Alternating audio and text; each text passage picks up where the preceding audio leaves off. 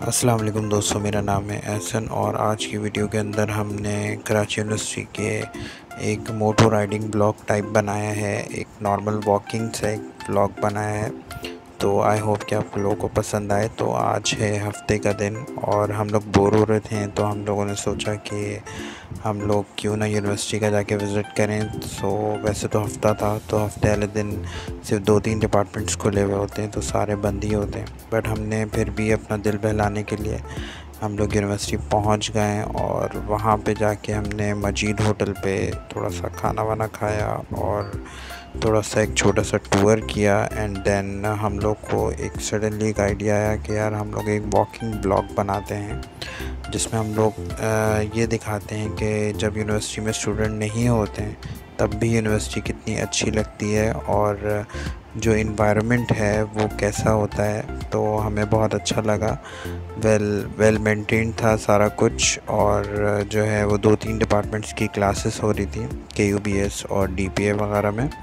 And then canteens भी आपको limited मिलती हैं हफ़्ते और इतवार वाले दिन, क्योंकि सारी कैंटीन्स नहीं खुली हुई होती। सो एंड उसके बाद हमारे कुछ फ्रेंड्स आने वाले थे तो हमने सोचा उनसे भी मुलाकात कर लें। एंड देन जब तक वो नहीं आते हैं, हम एक छोटा सा ब्लॉग बनाते हैं एंड बात कर लेते हैं। डिपार्टमेंट्स की तो कराची यूनिवर्सिटी के अंदर पचास से भी ज़्यादा डिपार्टमेंट्स हैं।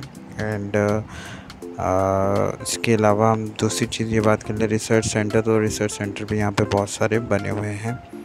एंड देन यहाँ पे आपको सब्ज़ी वाला, चाहे आपको, परचून वाला, चाहे आपको जो है वो सब्ज़ी वाला, गाड़ियों के मैकेनिक वाला, आपको सब कुछ मिलेगा इसी के अंदर। यानी कि एक छोटी सी दुनिया आबाद है। तो बहुत अच्छा लगा। काफ़ी टाइम के बाद हम लोग इस यूनिवर्सिटी में आए हैं।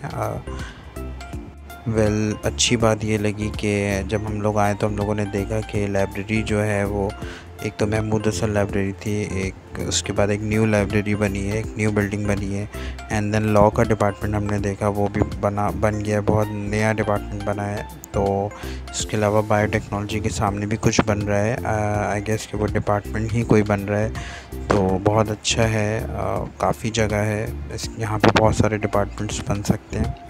और जो है मैनेजमेंट कंटिन्यूसली मैं देख रहा हूँ कि काम कर रही है।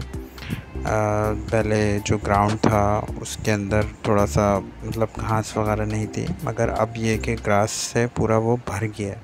पहले टाइम लगता है इस चीज़ में बट ये कि मैनेजमेंट काम कर रही है तो बहुत अच्छा लगा हमें देख के। वेल अगर आप भी कराची यूनिवर्सिटी के पास आउट हैं तो आप कमेंट करके बताएँ कि आपको के यू में क्या अच्छा लगता है। तो थैंक्स फॉर वाचिंग अपना बहुत सारा ख्याल रखिएगा। अल्लाह हाफ़